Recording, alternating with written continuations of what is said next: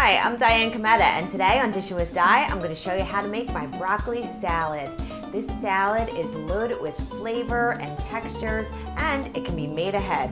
So let me show you what you need, and we'll get started today on Dishin' with Di.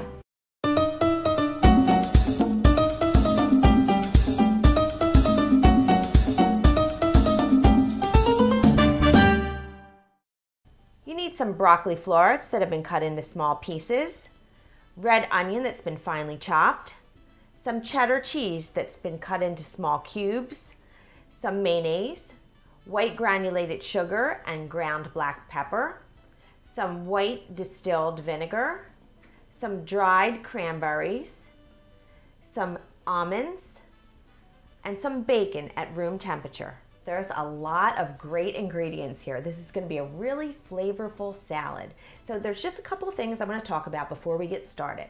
With the dried cranberries, what I've done is I've taken some water, put it into this bowl with the cranberries, and I pop this in the microwave for one minute. So this is hot now, and I'm just going to set this aside and let those cranberries kind of puff back up again and get nice and juicy and plump again. And then once that happens, I'll drain that and put those on some paper towels and kind of dry those out. Now what I'm gonna do is go over to the stove and I'm gonna get my bacon started. My bacon is done and I've allowed it to cool. I'm just gonna use my hands and just break it up. I also drained my cranberries and they're in this bowl right here and I just put them in a paper towel so that they can kind of um, absorb some of that moisture. I don't want them to be soggy when I put them into the broccoli salad.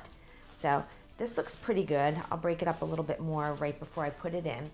But the first thing that we're gonna do is get a big bowl, bigger than the one you're gonna serve it in because you have to kind of toss this around so you need a good amount of space. So I have this big bowl right here and this is where we're gonna put everything. I'm just gonna put that right there. And the next thing I'm gonna do is get my mayonnaise and take my vinegar along with the granulated sugar and the pepper and I'm gonna mix that all together. All right, that's good. I'm just gonna set that aside and start dumping everything into my big giant bowl here. So my broccoli florets are gonna go in first, my cranberries, just everything. Just get it all in there. Everything looks good in there. And now for the bacon. Just gonna pour it right in there. So first, I'm gonna toss this around with my hands. Look at that, it's so colorful. And now with our dressing, pour this right over it.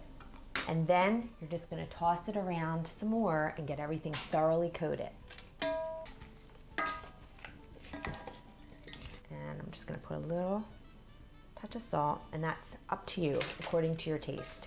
Give it another little quick toss around, and then I'm gonna put this into my serving bowl. Okay, that looks beautiful. Look how colorful that is. I have to give this a taste. Now it's really best if you let this sit overnight and that's what I'm gonna do. I'm gonna put some plastic wrap on top of this and I'm gonna serve this tomorrow because that gives the flavors a chance to really mingle, but just for you. Let's try to get a little piece of everything.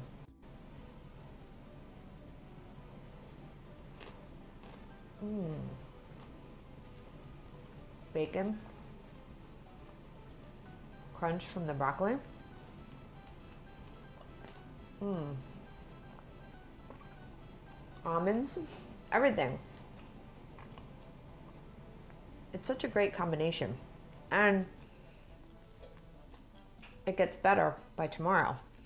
So do make this and make it ahead of time. Save yourself trouble. You can even make this two days ahead. I've done it before. The recipe is on my website, dishinwithdi.com, and I hope I made your life a little easier, more enjoyable, and delicious. I'll see you next time. Bye-bye.